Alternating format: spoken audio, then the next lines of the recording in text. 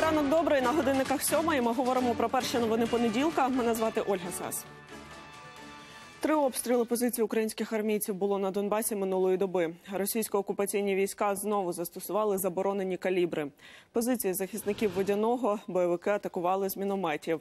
Поблизу Тарамчука та Красногорівки гатили з великокаліберних кулеметів та гранатометів. Українському війську минулося без втрат. Як повідомили у штабі ООС, на ділянках розведення сил і далі триває розмінування. Через обстріли бойовиків у дачному висилку на Донеччині спалахнула пожежа. Напередодні російські окупанти з великокаліберних кулеметів із застосуванням трасуючих та бронебійно-запалювальних боєприпасів обстріляли позиції підрозділів ООС у районі Березового. Внаслідок обстрілу загорілася суха трава. Вогонь перекинувся на людські помешкання. Вщент вигоріли шість будівель. Українські армійці оперативно евакуювали цивільне населення. За інформацією штабу, постраждалих у пожежі немає. За фактом ДТП, у якому постраждав уповноважений президента з прав дитини Микола Кулеба, відкрито кримінальне провадження. Наразі чиновник у реанімації в тяжкому стані. Постраждали також двоє його синів. Один з них теж у реанімації. На відео з камер спостереження видно, як машина, якою керував Кулеба, виїхала на перехрестя на червоне світло. Аварія сталася в селищі Чабани під Києвом. У машину посадовця врізався мікроавтобус Volkswagen. Його водій теж тяжко травмований.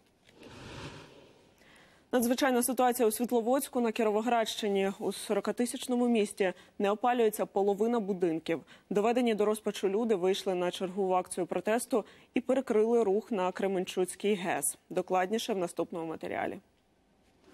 Із гаслом і скандалами жителі Світловодська перекрили дорогу на Кременчуцьку гідроелектростанцію. Попри обіцянки місцевого приватного теплопостачальника та чиновників відновити опалення, в їхніх оселях досі холоднеча. Ми мерзнемо, діти мерзнуть, ми мерзнемо. Садочки, треба дитину десь оставляти, а немає на кого залишити дитину. Приходиться мітингувати, а що робити? Ще 16 листопада підприємство Світловодськ побут відзвітувало про запуск п'яти котелень. Та більша частина 40-тисячного міста досі без опалення. Через численні пориви теплотраси квартири, лікарні та навчальні заклади не обігріваються. Ірина каже, у дитячому садку, де вона працює вихователькою, температура вище за 5 градусів не піднімається. І у власній квартирі відігрітися не вдається. Замерзають навіть декоративні рибки. Они подох, практически уже ничего не осталось, потому что э, холод такой, они э, ну, сплили пузом кверху. Опалювальний сезон у місті зірваний, кажуть у міській раді. За час своєї роботи, запевняє секретар міськради, підприємство Світловодськ побут жодного разу не ремонтувало мережу, і вона просто згнила. Деяка частина міста не дає замерзнути саме магістральним, а деяка частина міста вже замерзла. В них де е, по іде розводка, вже перемерзала. Навіть приміщення виконавчого комітету. У п'ятницю міська рада оголосила надзвичайну ситуацію у Світловодську. Та чиновники з Кіровоградської адміністрації вважають, вона не критична. У будинках, лікарнях і навчальних закладах, за їхніми словами, опалення поступово включають. Причиною затримок там називають бездіяльність міської влади та підприємства. Хоча ще влітку область звітувала, проблем немає. Зараз ми і аналізуємо, чому подавалася інформація, та яка говорила про готовність підприємства і можливість розпочати опалювальний сезон, і та ситуація, яку ми зараз бачимо безпосередньо зараз під час запуску, оскільки це дві різні інформації за змістом. Коли громадські заклади і помешкання жителів Світловодська опалюватимуться, невідомо. У місті виявили ще півтора десятка поривів, які не дозволяють подати тепло у кілька мікрорайонів. Артем Антоненко, Станіслав Кухарчук, Павло Тимошенко, телеканал Інтер, Кіровоградська область. Абсолютно інша ситуація з теплом на Закарпатті. Там ще всередині 2000-х люди відмовилися від централізованого опалення і тепер кажуть, самі вирішують, коли вмикати тепло у своїх оселях. Подробиці розповість Мар'яна Мартин. Прориви труб, холодні або навпаки спекотні ночі, а згодом непідйомні борги. Це звичний сценарій опалювального сезону для більшості частини України, однак не для Закарпаття. Жителі області самі вирішують, коли опалювати оселю і як. Кожна батарея оснащена таким терморегулятором. Ми собі включаємо там наскільки регулюємо в залежності від температури повітря.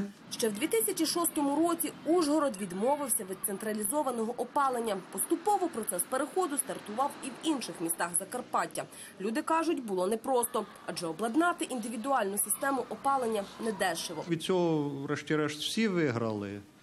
От боргів нема, кожна людина сама вирішує, коли йому опалювати, як сильно. Такого вже нема, щоб на вулиці спека, а в квартирі топлять і треба вікна відкривати. Від центрального опалення зрештою відмовилася вся область. У 2013 році автономне опалення було вже в кожній закарпатській квартирі. При лікарнях, школах чи адмінбудівлях побудували модульні котельні. Це велика економія, бо до того, коли ми користувалися центральним опаленням, ми втрачали дуже багато по теплотрасі, ми втрачали багато по будинку. Зараз ми регулюємо. Вартість таких котельних варіювалася від 200 тисяч гривень до 600. Щоб побудувати їх в області, розробили спеціальну програму. І хоча проект давався важко для багатьох комунальних закладів, перехід на автономне опалення став вигідним. Адже до того опалювальний сезон завжди починався із запізненням і заледве зводили кінці з кінцями через борги за газ. Теплокомуненерго повинно було звернутися до Києва в НАК е, Нафтогаз, отримати погодження, отримати угоди, не мати в першу чергу заборгованість за попередні роки. Та найбільше жителі області радіють, тому що самі можуть регулювати температуру в помешканні і суттєво економити. Беремо січень місяць, саме холодніше, коли то у нас за отоплення 1500 гривень виходить. Так що економія беззаперечна. Мар'яна Мартин, Юрій Ковальов, телеканал Інтер, Закарпатська область. На півночі Італії, неподалік міста Турин, обвалився автомобільний міст. Минулося без жертв. Причиною інциденту став сув ґрунту на пагорбі. У регіоні тривалий час йшли рісні дощі. На місці події працюють рятувальники.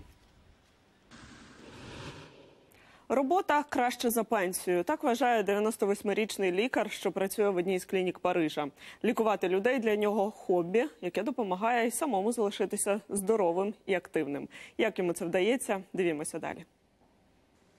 Коли Крістіан Чинай починав кар'єру лікаря, у медицині лише запроваджували пеніцилін. У свої 98 Крістіан досі приймає пацієнтів як терапевт. Каже, тут значно цікавіше, ніж у будинку для людей похилого віку. Там один день грають у карти, інший у бінго. Хтось розгадує кросворди, хтось дивиться телевізор. Потім ще якісь зустрічі з чиновниками, які агітують голосувати за них. Так і до слабоумства недалеко. Я радше попрацюю. Сам доктор Чинай на здоров'я не скаржиться, має добру пам'ять і відмінний зір. У його кабінеті немає сучасних технічних приладів, лише комп'ютер. Та саме завдяки інтернету, каже лікар, він завжди в курсі всіх медичних новинок. Пацієнтів він приймає двічі на тиждень, декого знає десятиліттями. Це неймовірний лікар, просто найкращий, терплячий, уважний. Він знає всю мою сім'ю, чоловіка і дітей, і пам'ятає все до дрібниць.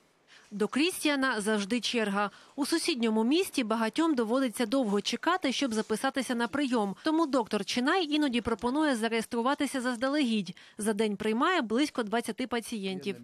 Зараз усе зовсім інакше ніж 30 років тому. Люди часто начитуються в інтернеті всілякої нісенітниці, приходять і кажуть: у мене ось така хвороба, випишіть мені такі-то пігулки. Але під час огляду я встановлюю зовсім інший діагноз, за якого сильнодійні препарати не потрібні. За 70-літню кар'єру таке бачу вперше.